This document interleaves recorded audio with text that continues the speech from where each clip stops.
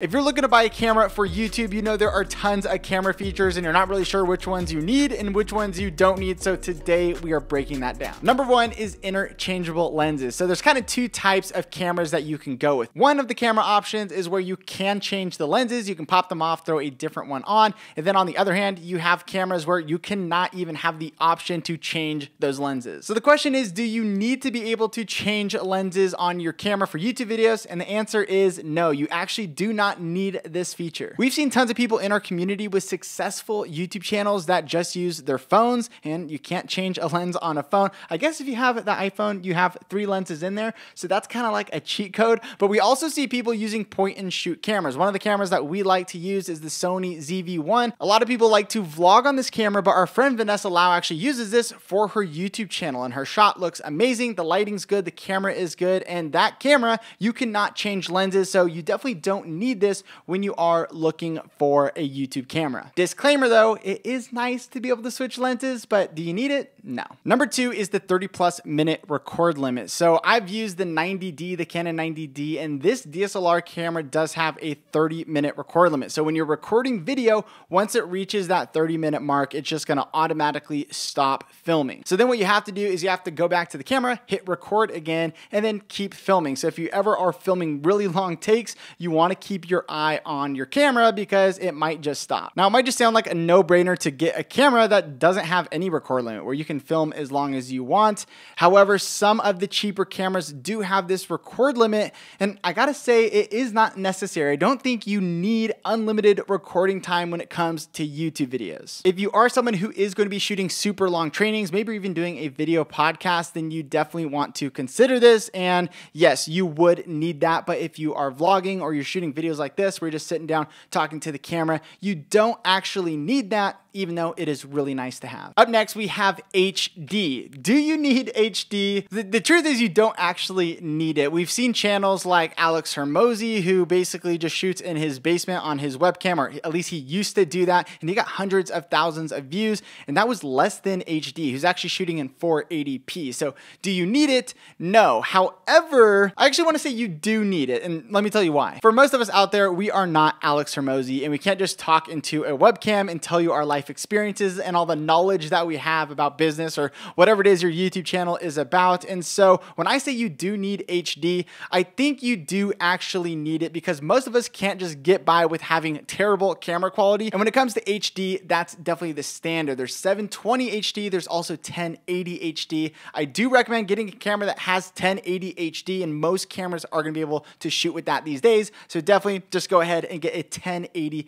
HD camera. Next, we have 4K. 4K. Do you actually need 4K? The answer is no. You definitely need that HD, but 4K is nice to have. You can crop in, you can do some extra stuff and get better quality, but you definitely do not need 4K when it comes to YouTube videos. The next one is slow motion. Do you need 60 frames per second? If you don't know, 60 frames per second, if you shoot in that and you slow it down to like 24 frames per second, this is 40% slow motion. And the answer is you don't need this for YouTube. If you do want to shoot B-roll, you can definitely get by with just having a camera that shoots 24 or 30 frames per second, and you just don't need slow motion when it comes to YouTube, though it may be nice to have, you don't need it. Up next, we have autofocus, and this one is interesting. I'm definitely gonna put this in the gray area because on one hand, you really do not need autofocus. As long as I wasn't moving around a bunch, this would actually work without autofocus. However, autofocus is so nice to have, and especially if you are a YouTuber and you are moving around a lot, maybe you're doing some vlog style content content or you're just picking up your camera and you want to have something reliable that's always in focus, I totally get that. For me, I would say autofocus because I'm a one man band shooting all of my stuff. It is a need for me. However, I can't say it's a need for everybody, so it kind of falls in that gray area. So, that being said, autofocus is one of those things that I would spend money on getting a really nice autofocus system. Sony has some great autofocus, Canon has some great autofocus. So, definitely just look into the camera you're looking to buy to make sure it can actually track your face, track your eye, whatever it is using to have a decent shot. So when you're shooting videos, it's not all blurry. The next one is a good built-in microphone. So cameras do have microphones on them, but typically they are not that good. So I would say that you do not need a good built-in microphone because most of the time what you want to do is hook up an external microphone like this or a shotgun microphone, a lav microphone that you can clip onto your shirt, whatever it is, you definitely want to use that rather than the built-in microphone on your camera. Anyways, so you don't really need a good built-in mic. The next one is do you need a mic input on your camera? So, you know, like I said, if you are using a microphone and you want to use that for your videos so that the audio can go into the camera and everything is going to be synced when you press record. The reason you don't actually need the mic input on your camera is because you can record microphones to something else like a Zoom H1, which is like a $100, and you can get these audio recorders where you can film your audio separately and then just sync them in post. But if you're making YouTube content and you're really committing to doing it, it is very nice to have a mic input on your camera so you can just plug that microphone right in and then you don't need to even sync the audio to the video in post. You can just start editing right away. That's why it falls into the gray area. You don't need it, but I mean, I definitely would want a camera that has that. Next, we have a headphone output, and this is so that you can plug headphones in. You can actually monitor while you're filming, you know, how it sounds. Now, you don't really need this, though it's nice to have. I wouldn't even say it falls into the gray area. I really think you don't need this. And the reason I kind of have this point of view is because I shot YouTube videos for so long where I didn't even have that headphone output. And the way you're able to kind of get by without monitoring it is because when you're shooting videos like yourself, you need to record a test shot anyways to see how it sounds, to see how it looks. And when I'm filming these videos, I don't have headphones in. And so for me, I don't utilize it as much as a lot of other people do. So for YouTube videos, I would say you don't need that headphone jack on your camera. Next up on the list is a flip out screen. This one's gonna fall a little bit into the gray area. For me, I wanna know what you guys think in the comments down below, but for me, I wanna say that you need it. Now, the reason I'm saying that you need it is because it is so convenient to actually have a monitor of yourself while you are filming YouTube videos, especially if you do this alone. And I know a lot of us are just shooting videos in our bedrooms, at homes, in our offices by ourselves, and we don't have the help of someone behind the camera to be watching the screen while we shoot these videos. Now, the reason you wouldn't need a flip out screen is if you had an external video monitor where you could plug that into the camera and then you could monitor yourself. But because most people aren't going to buy an external monitor with their camera, that's why I say you need it. You definitely need to monitor yourself while shooting. And though a monitor can work, definitely go that route if you don't have a camera with a flip out screen. I definitely recommend that external monitor, and that's why it kind of falls into that gray area because you don't need a flip out screen if you get a monitor,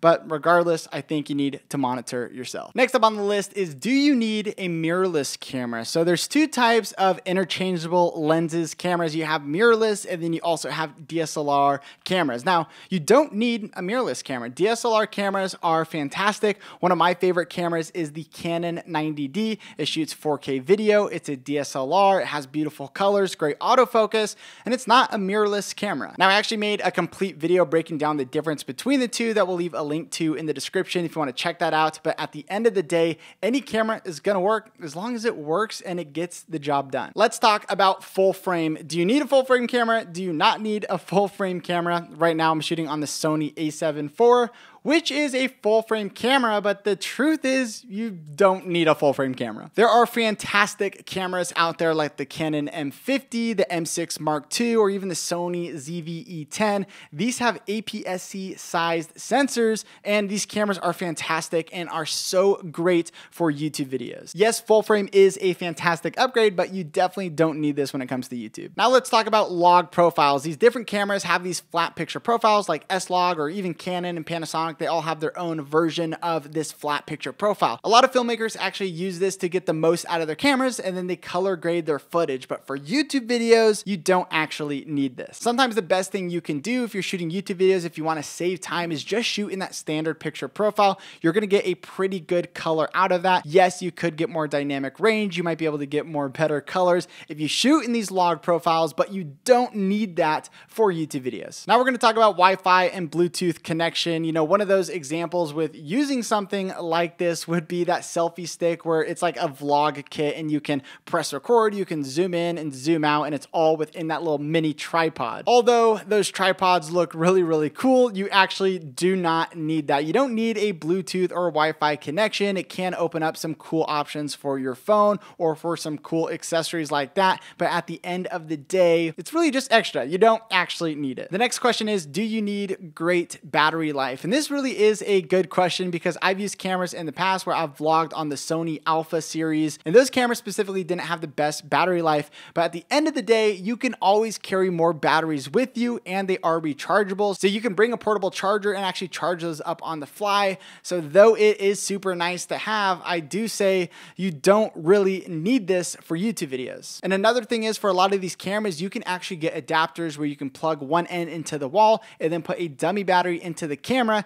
And this is gonna give you for a shot like this, or if you're sitting down at home, you don't need the actual batteries. You can just plug into the camera, power your camera up and start filming. Do you need a weather sealed camera? This is a really cool feature that we're starting to see on more cameras where you can take it out in the rain and it can just rain down on you and you don't have to worry about your camera breaking, which a lot of us spend a lot of money on this kind of stuff. So it is a very nice thing to have. However, I don't think you actually do need a weather sealed camera. A lot of the cameras that we've used over the years, we've taken them out and shot outside, inside, all sorts of different environments. And though they haven't been weather sealed, they still do just fine. Now, I'm not recommending you go and shoot in the rain and the snow and all sorts of other crazy environments, but what I am saying is these cameras do hold up really well to just everyday use. And so you don't have to be scared if your camera isn't weather sealed. Now, a camera feature we're starting to see on some newer cameras is two SD card slots. And do you actually need this? The answer is no, you just need one. It is nice to kind of have a backup where you can do dual recordings or you can put your photos on one and videos on the other.